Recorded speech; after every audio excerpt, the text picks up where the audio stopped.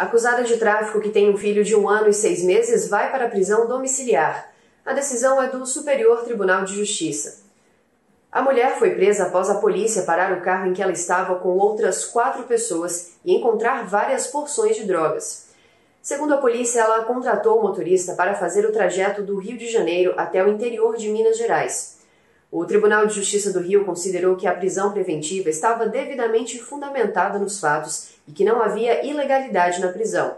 No pedido de liminar em habeas corpus feito ao STJ, a defesa apontou que a mulher tem um filho de menos de dois anos de idade que depende exclusivamente da mãe e argumentou ainda que ela não era dona das drogas apreendidas. O presidente do Superior Tribunal de Justiça, ministro João Otávio de Noronha, lembrou que há entendimento do Supremo Tribunal Federal e também alterações no Código de Processo Penal que prevêem a substituição da prisão preventiva pela domiciliar como regra para mães que tenham filhos pequenos. Isso se o crime não tiver sido praticado com violência, grave ameaça contra os próprios descendentes ou ainda em algumas situações excepcionais.